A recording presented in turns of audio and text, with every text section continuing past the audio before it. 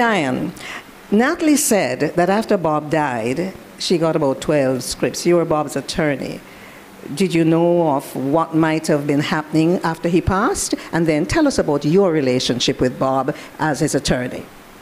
Well, I thought I was here to talk about the movie, not relationships. Yes, it's about the movie. Uh, uh, um, yeah, well, I was Bob's attorney, and his, as he told people, I was his sister, his sister. So that we were, I was his sister in faith. Um, no, I'm going straight to the movie because I didn't come here to talk about myself. okay. Um, uh, the problem with the movie, and there was a problem. And you're right, Bob's life couldn't be told in one movie. Um, this I consider, well, Nathalie, you know, a teaser. a teaser.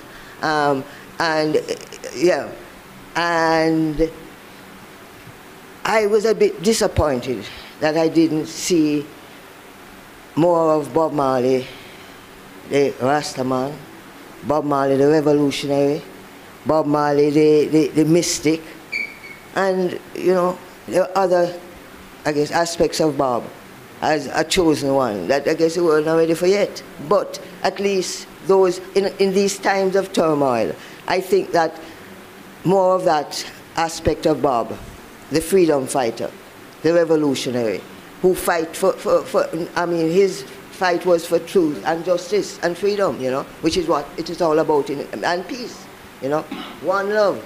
Um, but the movie, I congratulate Ziggy and Cedella, who were instrumental in that movie, um, in giving a tribute to their mother.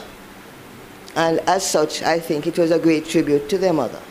Um, as I said, the other aspects of Bob is a series, really. You can't, you know, it's a series. And um, as a starter, yeah, the teaser is, is good because it has gotten a lot of people more hearing the music. Now the next one will probably let them listen to the message as opposed to the great entertainer. Well, they didn't really show him as the ladies' man. Um, but uh, at least, um, and credit to the, the children too, that um, they didn't emphasize various baby mothers. It was, you know, concentrating on one, but on really Bob Marley, the entertainer, the musician, and I'm not too sure if that Bob Marley is the Bob Marley that is going to go down in history. It will be more the other aspects of Bob Marley and the message. Music was a medium. It was, you know, it was the message, not the messenger. Um, but in this case, the messenger was important. Um, and the actors did well. Um, with Rita, I don't, I did, she did a great job. But as to portraying that aspect of Rita, that entertainer, that smiling Rita, that woman that would have attracted Bob, you know, it wasn't there. But in all just, she would have met Rita in these last years, and it was necessarily that, you know, entertainer Rita Marley, who we all know that, you know, Rita was, was a lively person. Yes, yes, uh, yes. She was a little bit too serious. As I said to Steve, they should have had Bob smiling less and Rita smiling more. okay. Let me, let me just bring in. Thank you, thank you for that. Thank you for your perspective. Greatly appreciated.